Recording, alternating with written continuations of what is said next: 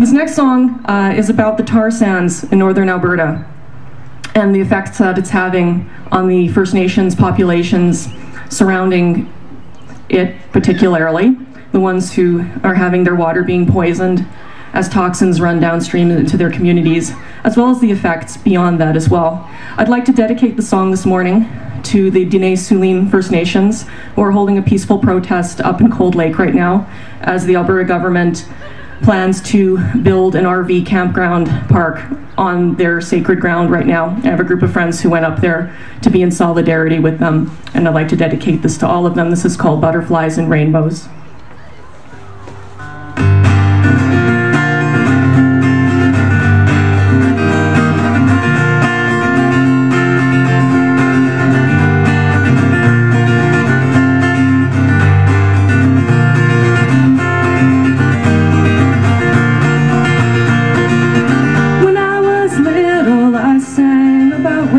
Butterflies so lovely, and the sky so blue. But today, I can't see the rainbows. The butterflies are gone, sky has changed color too.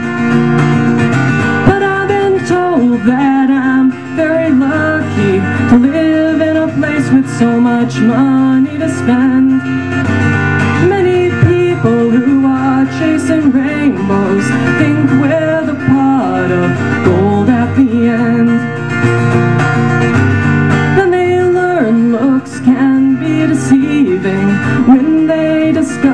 there's nowhere to live.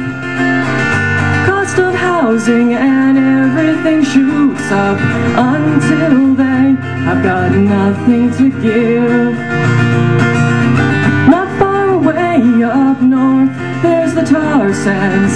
People are dying, so is a way of life. Exploitation's price is too high, costing the land and its people strife. All in the name of shipping our oil down south to lubricate a war machine that invades other countries and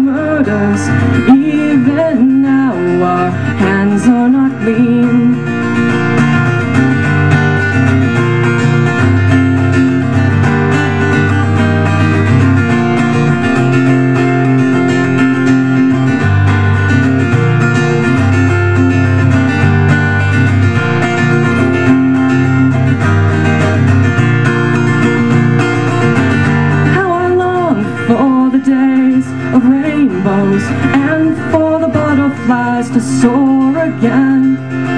Someone must tell these huge corporations violation of Earth has to end.